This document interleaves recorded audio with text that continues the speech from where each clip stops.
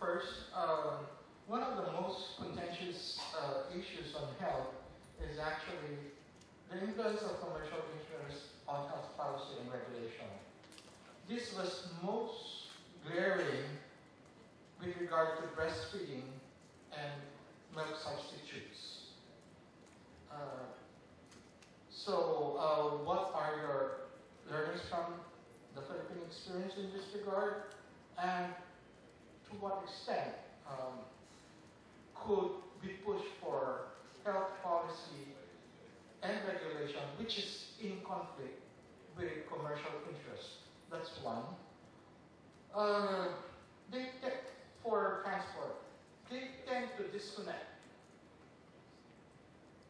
your app, your app. You just say it's an app sharing application. It's from the physical transport. That's what I usually hear. But the problem is, the physical, uh, the taxis, the drivers, whatever, they don't follow the rules and regulations. How could you now marry your application and don't disconnect it from the physical aspect of those whom you are involved with in following rules and regulations? When Uber was actually uh, suspended, traffic was less in Metro Manila. There were a lot of people who actually got new vehicles to put in to service.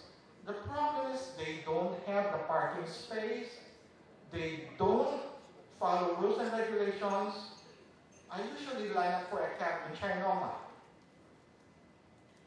Those Grab and Uber actually uh, compete in the queue line, which should not be the case.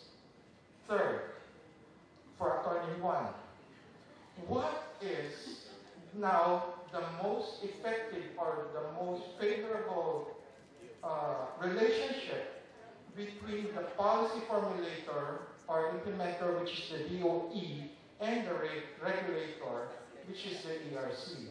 Uh, this has always come into uh, to view because sometimes there's conflict between the the framework and the vision of the DOE and the regulator itself.